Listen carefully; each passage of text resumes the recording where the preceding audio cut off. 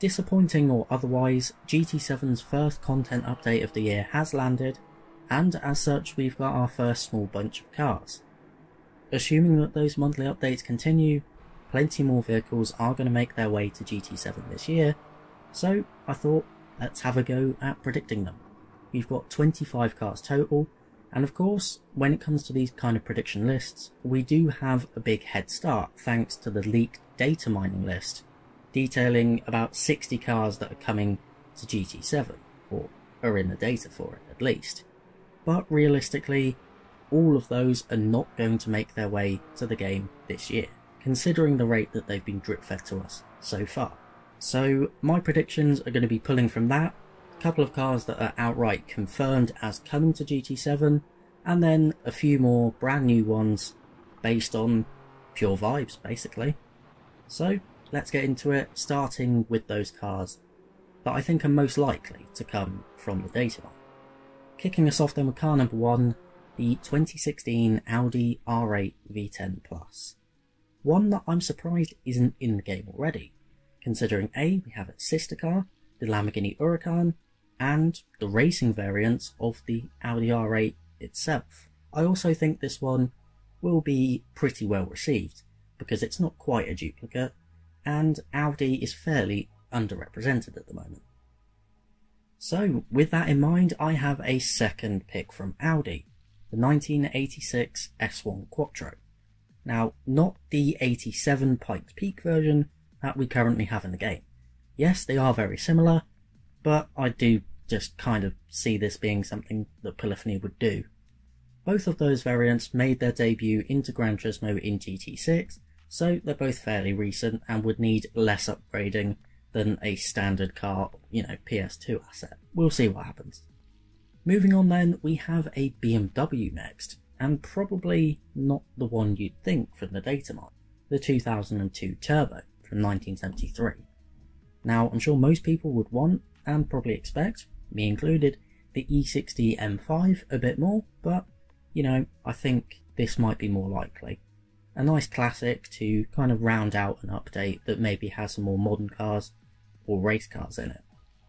My next pick is from a new brand, or I should say a returning brand to Gran Turismo.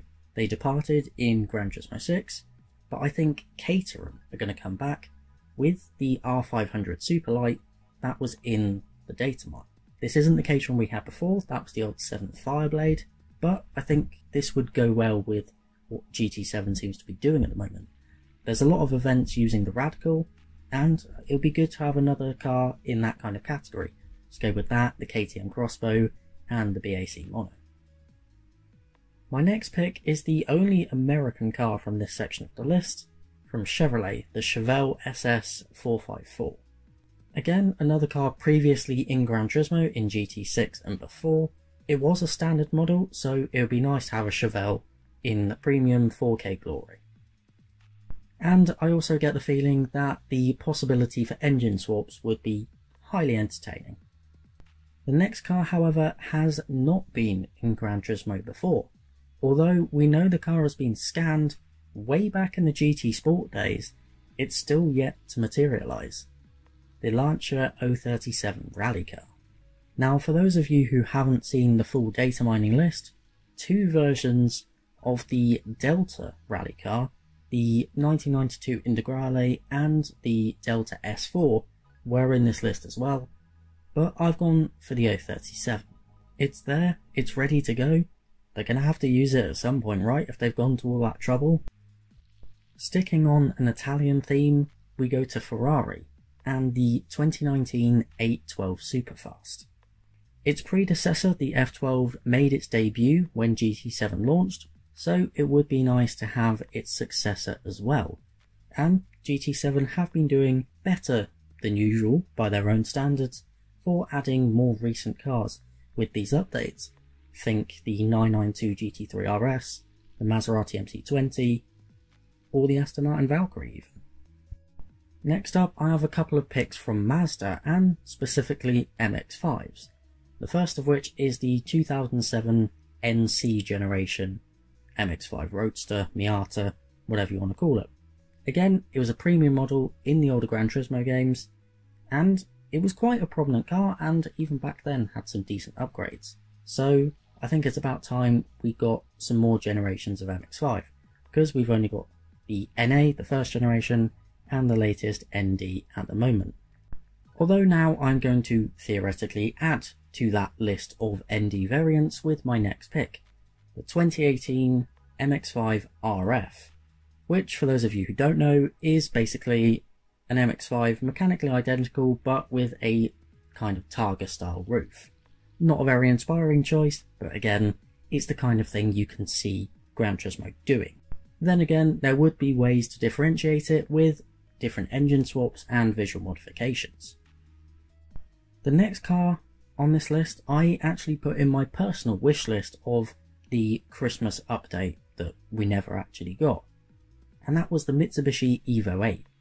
It's my favourite generation of Evo, but that general shape of the Evo 7 through 9 is not in Gran Turismo at all currently. It needs some representation. Both the Evo 8 and the Evo 9 are actually in the data mine, so it could be anyone's guess which one turns up, but here's hoping for at least one. And since I've just spoken about a Mitsubishi Evo, let's balance things out, as all things should be, with my next pick, the 2010 Subaru WRX STI. We did get the 2004 STI a little while ago, and of course we have the second most recent generation, the 2014, so this one would slot nicely in the middle of those. But there is another special reason why I've chosen this car and think it's quite likely to arrive. Because when you go and get a wide body in GT Auto, the little animation and symbol that comes up is of this generation 2010 WRX, which seems a bit weird considering it isn't in the game. So I think at some point it will be in the game. But now we move on to the least logical and probably weirdest pick of this entire list. However, maybe not. It is in the data mine, and much like the Lancia 037 that we talked about before, it has been confirmed that this car has been scanned already, and quite a long time ago. The Renault Avantime. Yes, the weird French coupe come people carrier come sales failure is a strange choice, but then again, who would have predicted the Toyota Alphard or the Toyota Ambulance? It's entirely possible. However, if we're going to go for a more sensible pick from the same manufacturer, how about the R5 Turbo Rally? Of course, we have the standard road going version, so why not the rally car? We need more real rally cars in the game, and of course I've chosen a couple already for this list. So here's hoping, personally, that this one joins those. Now, for one final car from this section, I've gone for the 2005 Mark V generation Volkswagen Golf GTI. Again, maybe a bit of personal bias at play here because I just really like it, but hey, it's not entirely out of the realms of possibility, is it? And the next two cars that I'm going to talk about definitely aren't, because these are the ones that have directly been confirmed as coming to Gran Turismo 7. And one of them is coming this year. And that's the Afeela prototype that we found out a month or so ago. An electric sedan that was made as a collaboration, well, the whole brand, Afeela, between Sony and Honda. The car has been directly confirmed as coming to the game specifically in 2024, so we'll see which update brings this one. And for the second card that has been confirmed as coming to GT7, it's also an electric one, the Turn 14 racing variant of the Tesla Model 3. With the Spec 2 update, we did get its road version. Again, this is a theme we've seen a couple times in this list. But in a trailer showing the car before GT7 actually launched, it did say that that specific vehicle would be showing up in an update. But that now brings us on to the final section of this video. My personal picks, some, again, were in previous Gran Turismo games, some are totally new to the franchise, so please let me know if you happen to agree with these points.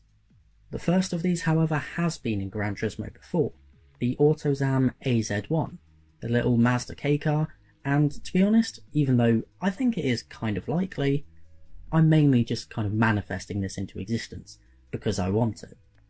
But of course, it's not without precedent, if you will, because we do have the 90s Honda Beat and the Suzuki Cappuccino, which came in the very first GT7 content update. Moving in alphabetical order then, my next pick also was last seen in Gran Turismo 6, and in fact it debuted in that game as well, the 1957 BMW 507. If I'm not mistaken, this was one of the special 15th anniversary cars as well, so I think they put quite a lot of effort into it, and it would be a shame if it didn't come back. Maybe it wouldn't be the most useful, but it is very pretty, and Polyphony could go and stick it into the legendary dealership for like three times the price that it cost in GT6, because that's what they do. Anyway, positive thoughts, positive thoughts. Looking at my list now, the third car was also previously in Gran Turismo. I promise we do get onto some all new stuff. But that third pick is the Chevrolet El Camino SS. It was last in GT6 and had some brilliant customization. It was also quite a fun drift car. So I think in the world of GT7, it would be even more of a fun pick, and you may even get some use out of it. Okay, so now on to the new stuff, and it is all new cars from here. The first of which I've gone for is the Ferrari 296 GTB. Not the GT3, as maybe some people would be hoping for, but the road-going, hybrid 830 horsepower supercar. As absurd as that amount of power is, and you would be able to get more with upgrades, it would be continuing the lineage of the so-called baby Ferrari. We have the 430, the 458, and the F8 Tributo. I know the 488 GTB is kind of in there as well, but missed. And like I said earlier, Polyphony are doing a bit better with adding more current cars. So, here's hoping this one will happen. I don't foresee many people complaining if this one turns out to be true. I do think we're overdue some race cars on this list, however, so why not have two? And one of them I actually found out about its existence through researching the other. But that first pick was the Nissan Z GT500 Super GT car. We have a few different eras of Super GT car now, so I think it's about time we get some more up-to-date machinery. And seems like a fairly likely candidate, since the Nissan Z road car that is in the game was one of the freshest cars when GT7 launched. But yes, I have picked another car from the Super GT GT500 category that I didn't know was racing, but is pretty cool. The Honda Civic Type R GT500. Of course, the race car is rear-wheel drive, and it's a Civic in name only, but it's still pretty cool that a Civic is in that category of racing. Of course, the NSX has been retired now and taken off sale for the production version as well. So, I guess Civic is the way forward now. And speaking of the way forward, SUVs are getting a lot more popular, but their representation in Gran Turismo is basically non-existent if you exclude the Jimny that came in the last update. But for this pick, we're going to the other end of the scale, because I've selected the Lamborghini Urus.